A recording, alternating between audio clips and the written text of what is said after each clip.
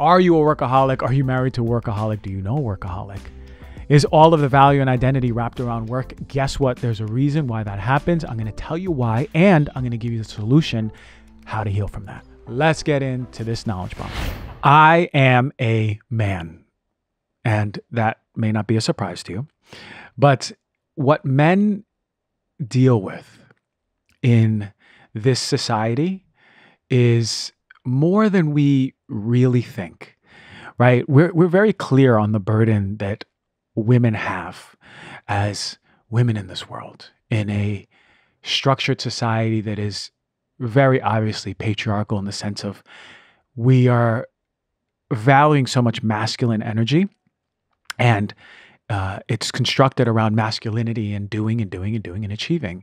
And then what we expect from mothers and wives and just being a woman, I know is very difficult. I do, and I've have I work with a lot of women, so I'm, I'm very clear on this. Of course, I'm not a woman, so I don't have that experience, but I do have the experience as a man, and I know the potentiality of the unfolding of what can happen as a man starts coming to a higher self. I also know what happens when a man is stuck in that density, and unfortunately, the majority of men that we see walking the streets at a cafe, in the mall, at a restaurant are really in that dense state. And the goal for us as men, and listen, if you have a man in your life, this is the time to click copy, paste, forward, and say, husband, dad, brother, I love you. Listen to this episode. Okay. So back to this. So many men are in such a dense state without even knowing it. And we call it being a man. And women and people around us have experiences of this is how men are, this is how we show up in the world. But I want to highlight something. And it's a term that I haven't seen coined yet, but it just came out of me yesterday when I was doing some content. We were filming yesterday, and I said the uh, the wounded overachieving man or the wounded high achiever. And we think about a few things when I say that. What is a high achieving man, right? The man that in this structured society has achieved. They've gotten all the accolades, right? They they they graduated with this. They work at this, they've opened this new company, they've achieved and they've seemingly been successful by society's measure of success, which is really just money and oftentimes fame and oftentimes just high achieving qualities like I run a Fortune 500 business. Now, I've worked with a few really high achieving men, and I want to let you know a few things. And I'm talking about like billionaire level.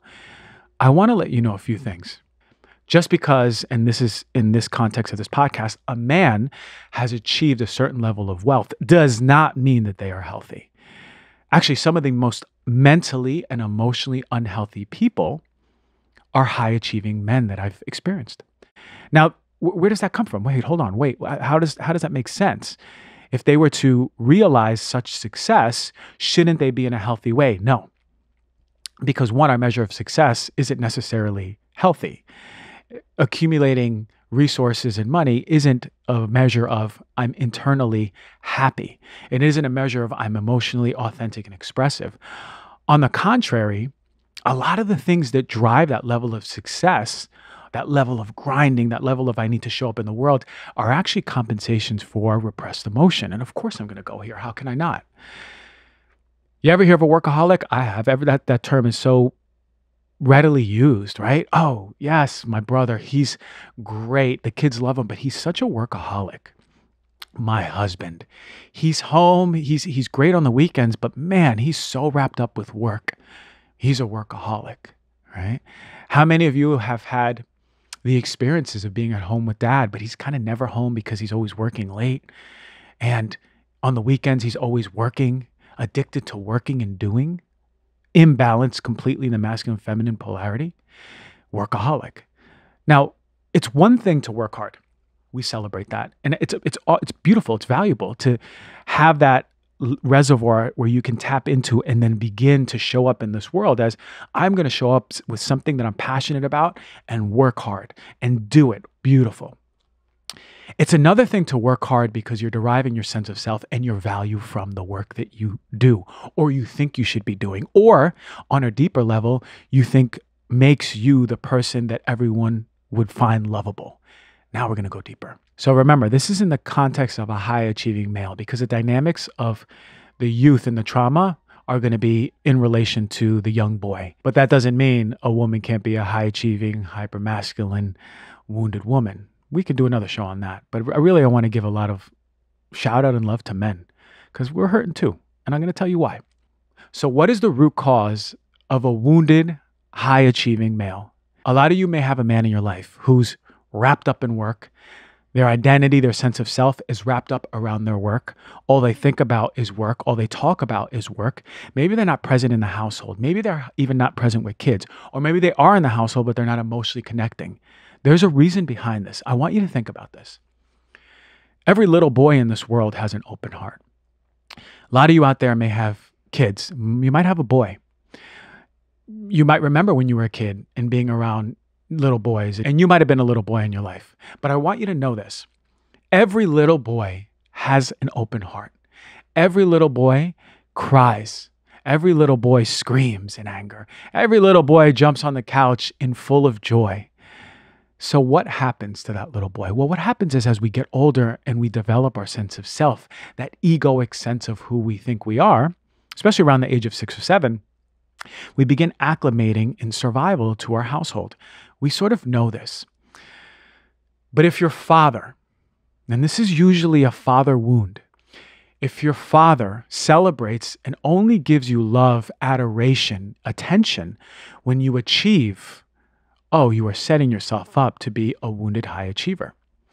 If you only receive that love that should be given, whether or not you're achieving, just because you are you, from achieving, you are setting yourself up to live the rest of your life looking for love through work and achievement.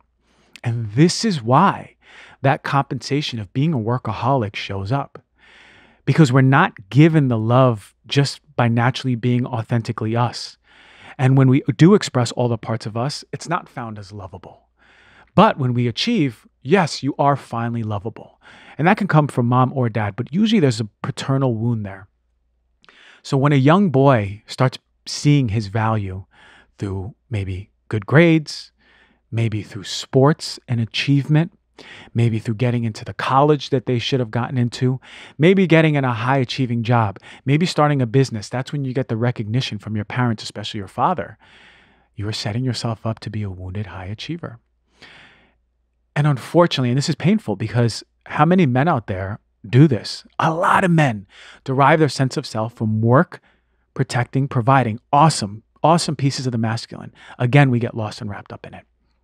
So what happens is we become workaholics and we work hard in order to run away from that pain of not being lovable and accepted just for who we are.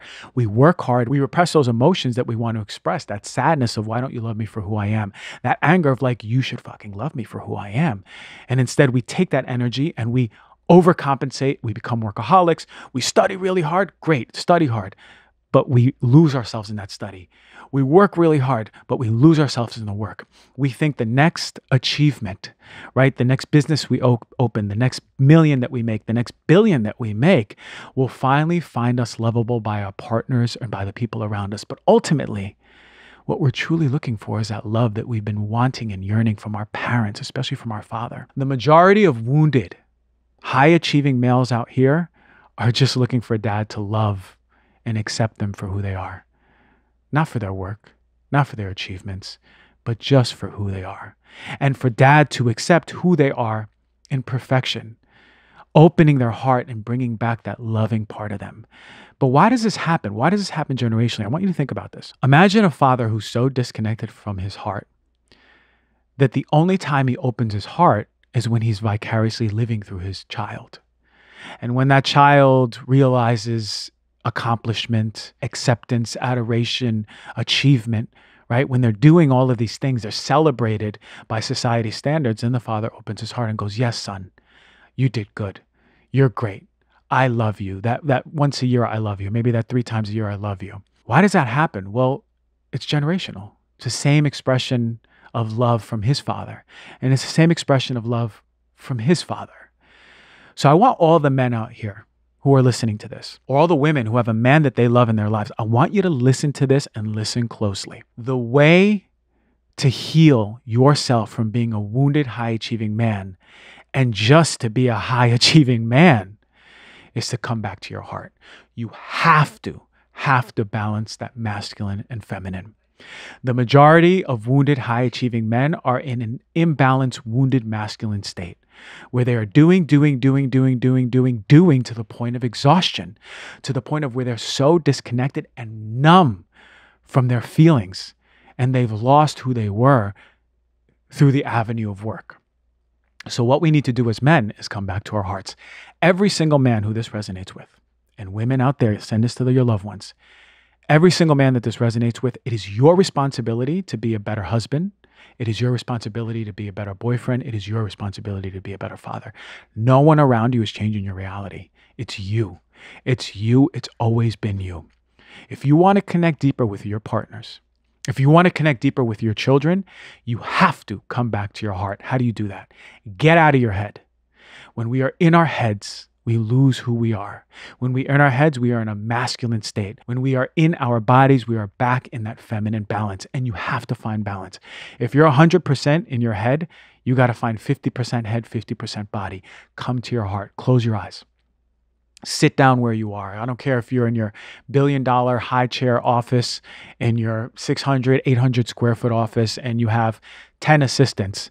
I don't care. Close your eyes and come to your body. You're going to find a lot of difficulty because it's going to be the first time in a while. And your ego knows that you're confronting a lot of pain inside there. You, my friend, are holding a lot of anger. You, my friend, are holding a lot of sadness. When was the last time you, Mr. Wounded High Achieving Male, cried? When was the last time you, Mr. High Achieving Male, really let out that anger, fully, that rage that you have for your parents for not loving you for who you are? Close your eyes, put your hand on your heart, and I want you to feel what it feels like to breathe into your heart. What does it feel like to breathe under your hand? What does it feel like to get out of your head for the first time in so long and to finally come into your body and to finally come, more importantly, to your heart. What you're doing by coming to your heart is finally creating that balance that you've been seeking for so long. Everything you've been seeking has been right there with you. Come back to your heart and notice how it feels to be in your heart. And then can you allow, can you allow just that feeling or discomfort that you're running away from by work, by achieving, by status? Can you allow that pain that is there to finally start moving? Because ultimately, when you allow yourself to confront that sadness that you have for not being accepted for who you were as a young boy, and that anger that you have for not being accepted, when you confront those emotions and you allow yourself to feel them, guess what? You've actually opened up capacity to feel that for your loved ones. Now you're able to hold your girlfriend, your wife, your partner so much more in their emotion. Now you've created a deeper bond with your lover.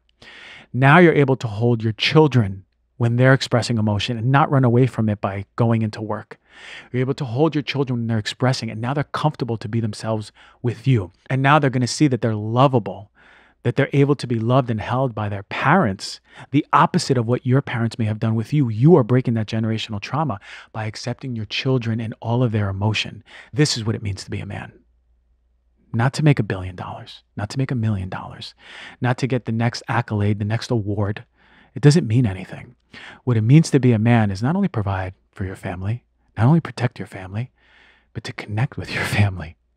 To have your family know that you, as a man, can hold all of their emotions and you've given permission by you being you to hold your whole family and your kids will always know that they can come to dad and show every emotion in the highest amount of intensity and you are as solid as a rock this is your duty as a man not to make another million not to make another billion stop showing out stop running from that wounded place come back to your heart and be the man that you're here to be there you go that's what it is I needed to talk about this.